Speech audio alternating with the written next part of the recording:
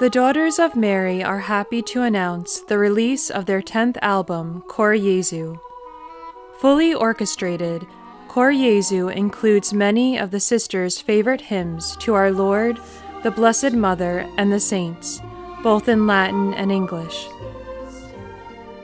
The sisters have been recording albums for over 20 years, and their prayerful voices will help to lift your mind and heart to God.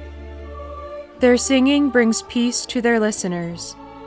It is their fond hope and prayer that God, in some fashion, will use these hymns to communicate to you and to many the love that they bear in their hearts for Jesus and Mary.